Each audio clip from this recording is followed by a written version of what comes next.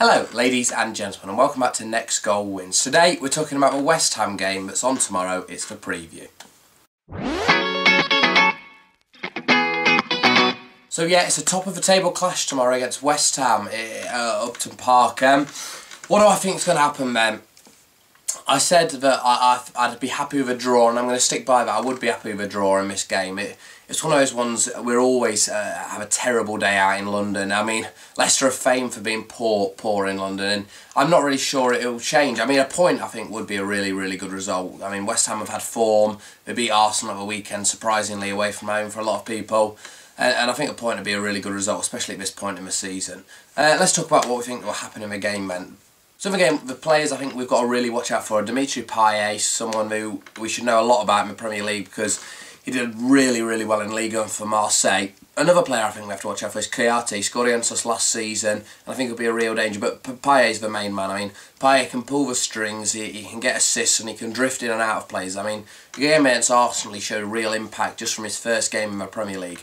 Reece Oxford's obviously another one who a lot of people have talked about, but you know he's only played one game so far, 16 years old you can't really expect too much of him in a prolonged period of time. So I think Payet really is the one to watch out for. For us, I think Mahrez again has to have a good game for us to play well. Not necessarily as well as he did the first game, obviously, but I think a lot of them have to play well again for us to, to win again. But yeah, it's just going to be one of those games that could go either way. I mean, Merson, Paul Merson's predicted us to win. I've seen a lot of people predict West Ham to win. I'm not really sure too many people are are aware of what's going to happen in this one. The two teams seem pretty evenly matched really on paper. Obviously West Ham had a really poor Europa League qualifying campaign, but that winning against Arsenal must have boosted spirits. Both teams have new managers, new implementations from a manager, so I'm not sure anyone really is aware what's what's going to happen in it. Um, I personally think it'll be a draw. I, I think one all will be a, a fair result on the day. Hopefully, uh, I think one all will be what the score is. I think the goals will come from here we go. I think it'll come from any West Ham player. I can't I can't predict a West Ham player. But for us, I think the goal will come from Kramaric off the bench. I reckon Kramaric off the bench to get the goal. Um, yeah, I think it'll be quite a good day out for the, the one all, and I'm sure we'd all take that at this point in the season. What will West Ham maybe be worried about in this game? I mean, I did a little chat on a West Ham fans forum. Let's uh, watch that now just to see what I said on there. Yes, this part of the show is called Who Are You? And every week we try to get an opposition fan on, and we've got one with us this week. So, who are you? I am Charlie. I live in Leicestershire, Leicester season ticket season ticket holder for 11 years, and I have a YouTube channel, Next Goal Wins. Check me out. Fantastic. Well, thank you very much for giving up your time. No worries. Um, pleased to hear that you watched the, our game against Arsenal on Sunday. So come on then, what did you make of that? Impressed, very impressed. I mean, as one as a skeptic from the outsider on Bilic, I mean, yes, he's done it before at teams, and at Besiktas it was a bit so-so. But yeah, coming into a Premier League, I thought, I thought as the first game, you couldn't asked for more, could you? Arsenal away, sacrifice for Europa League maybe for it, but I don't know what you feel like that as a West Ham fan, getting out of Europa League for the Premier League. But yeah, I mean, uh, Payet looked a class above. I mean, we know the assists he gets in the French league at Marseille. It's not a fluke. You can do it at a top league like that. You can do it in England. I mean, players like Reece Oxford looked to settle in brilliantly. I mean, I know he was a talking point for a lot of people on social media, especially his kind of rise up from obscurity last season to now being kind of a player in that first team. And yeah, and Zarate as well, a player who's obviously out on loan last season and comes back into the team and does very well. But yeah, highly impressed I was with the performance at Arsenal. So are we. Uh, the R forum was quite split on Bilic as well. Don't worry, it's not just the neutrals. Uh, themselves were a wee bit split. Yeah yourself had changes, of course, at your club. Uh, out went Nigel Pearson. In, in Claudio Ranieri, how did you feel about those two managers? Uh, uninspired by the Ranieri decision, but not so uninspired by the decision to sack Pearson. I mean, Pearson for the club was an embarrassment a lot of times, especially in press conferences. I mean, for a lot of like neutrals and stuff, it was great humour, his ostrich stuff, and the, the comments he made about most ignorant man in the world. But looking from a club that but I love it. It was slightly embarrassing at times, but I think every Leicester fan will tell you that as much as now Pearson's gone and the club will hold a place in our heart for him because I mean he got us promotions, one of our most successful managers ever. We have to move on now, and Ranieri couldn't have done any more than, than he did at the weekend to get off to a start like that. And I, I wouldn't say the positive, necessarily positive the, the support from the crowd at the moment, but it's definitely growing on the Ranieri front. Yeah, I think you we can relate to you quite a lot because obviously a lot of neutrals thought we were mad to sack Allardyce, and a lot of the West Ham fans wanted him gone. Yeah. And I suppose it's a role reversal for the Pearson thing over at Leicester. If you like, outside looking in, we're a bit iffy about why you got rid of Pearson. Yeah. Touched on the weekend there, great result for you. Um, not the best opposition, I suppose, in terms of quality. Um, how did you think about that game went? Uh, a bit like you. I mean, as West Ham fan and Leicester, we couldn't have asked for any more that first weekend yes, Sunderland were poor for the first 30 minutes. I mean, epitomised by Cattermole captain coming off after 30 minutes after giving away a penalty on Mahrez. But yeah, the, I mean, the first 30 minutes we were, we were unplayable again. So there wasn't a team that would have been able to play against us that first half an hour.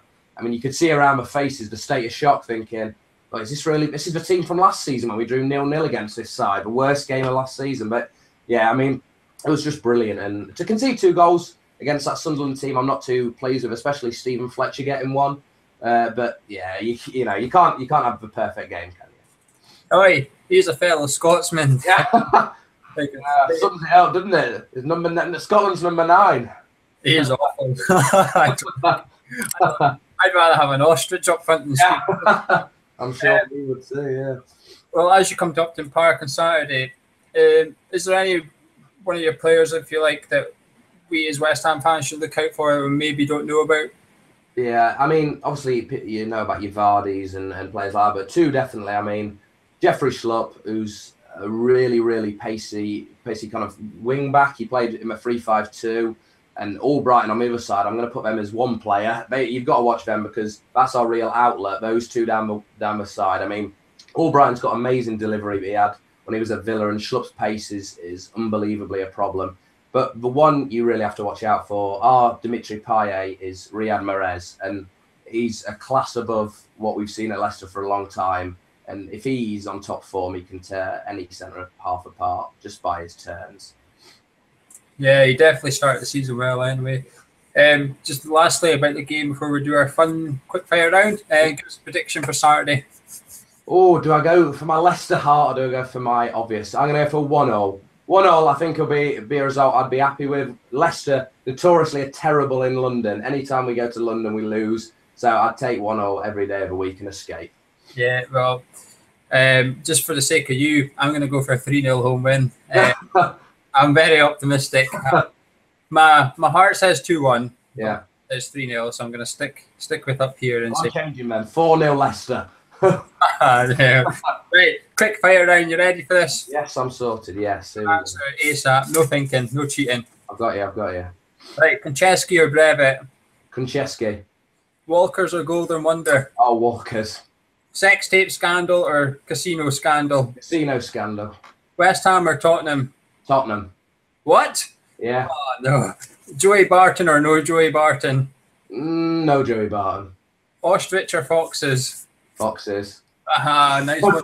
Well, Charlie, thank you. You can see him. I just did a little chat with one of the West Ham fans forums. Yeah, check them out in the link in the description below just to watch their preview of the game and what a West Ham point of view think about the game that's going to happen uh, tomorrow. But yeah, I, I think a draw would be a result I'll be really happy with, and I really hope it is a draw because I do see that as a really good result. Ranieri uh, drawing his first away game, especially at West Ham, who was such a bogey team to us. I'm not sure anyone would complain for the team, I'm not sure he will change anything. If he does change anything, I think it could be Kante coming in for, for one of King or Drinkwater. But then again, I mean, King Drinkwater played so well in my first game, I'm not really sure why he'd change it. Apart from that, I think he'll go the same again. Um, some people are saying he could play one up front, Ulloa, because it's an away game, but I don't think Ranieri will do that. I think he'll stay with kind of a formation he, he's played and the team he played in the first game because it was such a great performance. I don't think you can change that. So yeah, I think it'll be exactly the same formation and team as it was in the first game. West Ham, I think they'll line up pretty much the same as they did in the first game as well, winning 2-0 away to Arsenal. You're not gonna not gonna change anything. I mean, they have got a lot of danger, West Ham. We can't say that. They have got a lot of danger. And Bilic is an unknown manager. We don't know what they're going to be like this season. I mean, they could be a Southampton. But at the same time, they don't know what we're going to be like this season, which I think we really have on our side. But yeah, I think it'll be a really, really interesting game. One all is my prediction. Uh, it's going to be a sellout again from, from Leicester fans, which is brilliant. It'll be an amazing noise from a Blue Army, as it always is. But yeah, I'll be doing a video after the game, obviously, with my reaction. I didn't get one up from Sunderland because I was massive upload and rendering problems with with the video and I'm not really sure why so sorry if anyone was disappointed by that but yeah it was really annoying for me that, it, that, that video didn't up but yeah there will be one definitely from a West Ham one tomorrow um, I'm going to just say quickly about the game. I think West Ham fans are pretty confident about it, and I think we are pretty confident about it as well. So that's why I've gone for the draw, the balance side in the middle, and hopefully it'll happen. As always, please like the video and uh, share it on all social media outlets, retweet it, favourite it on anything. My Twitter is at LCFC Hammond. Please leave your comments below here and comment to me on Twitter saying anything you think might happen in the game. And please subscribe to my channel anywhere around the screen now for daily uploads. I'll see you in the next one.